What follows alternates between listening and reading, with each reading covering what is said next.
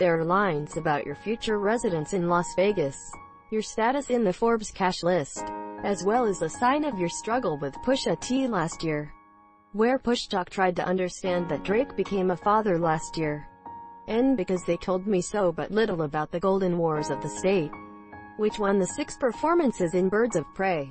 Drake reacts in the first half of the fifth match of the NBA Finals in 2019 between the Golden Warriors of the State and Toronto Predators. For the first time in 24 years of its history, the Toronto Raptors have become official NBA champions. And Drake seems to be the only one who shoots at the gym as your strike Drake's rapper in the NBA. Final in two single packets Omerta and Money in the Grave in Toronto celebrates as if he were the only one sweating on the field. For comparison, Money in the Grave is a Jumping Club t-shirt, but it's more like a relic from Aubrey Scorpion's double album 2018. Especially since it's the end of the his conflict with Rick Ross, which was destroyed last year. The Best in the World pack contains only two songs Omerta and Money in the Grave with Rick Ross. But each represents a different wavelength for Drizzy.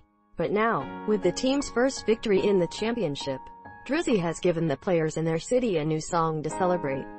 The rapper released new songs to celebrate his victory in the Raptor Championship.